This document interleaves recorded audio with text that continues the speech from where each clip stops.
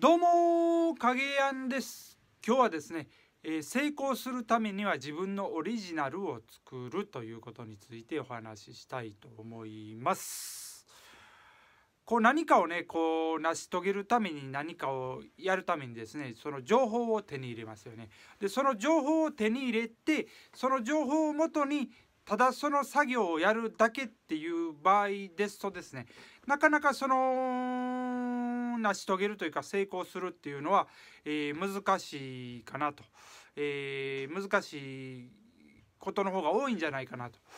いうふうに思うんですね。まあいろんなことがありますけどいろんな条件があるとは思うんですけどもその情報を手に入れてそれをね、えー、元にそれをまずやっていってその中から自分のオリジナルを作っていくっていうことができないとなかなかその成功に導あの導導かれないというか導え何て言うんですかそのあの成功にこうつながっていかないというか、えそういうふうに考えますね。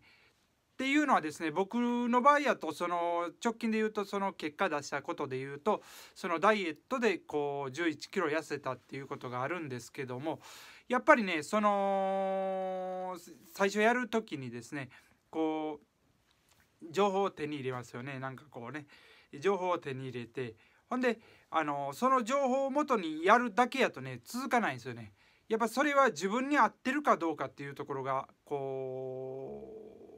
ポイントというかその合ってるかどうかと自分に合うところをこう探していってですねほんで続けるっていうことですねほんで続けていって自分のなりのものができてくるとそれが、えー、成功に、えー、結びついていくというふうになると思うんですね。なかなかだからそのどういうんですかねそのマニュアル通りマニュアル通りにやるっていうのは一応ねそのできるでき近道にはなると思うんですけれどもそっからこうこうどういうんですかね成し遂げるというかこう成功に、え、導くことっていうのはやっぱり難しくなるんじゃないかなと。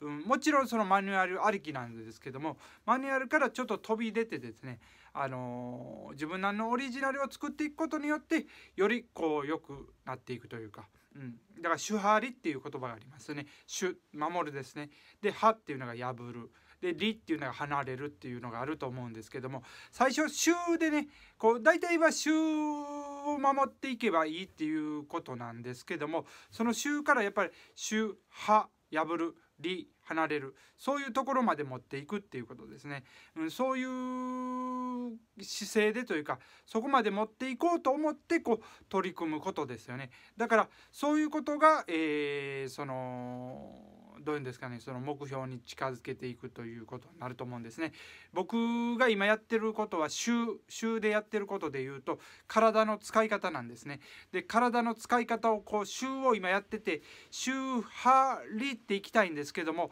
その歯まではなかなかいけないなとまず週をちゃんとできてないそのえー、その基本ですね。基本がなかなかその習得できないんで週をやってるんですけどこのね、えー、急いで、えー、りとこう破る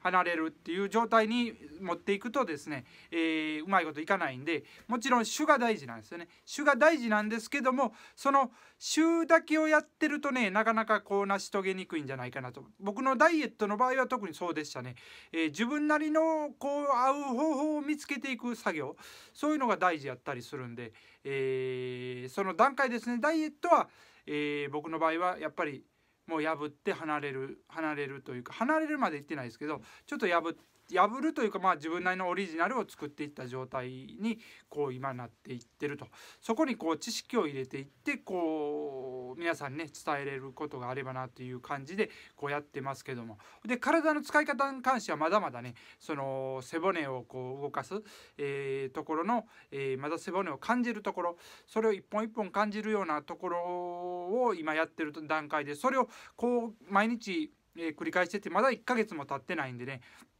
なかなかそのうまくいかないですけどもそれをやってると。で空手とかね、えー、そういうことに関しても週ですね週の状態かなと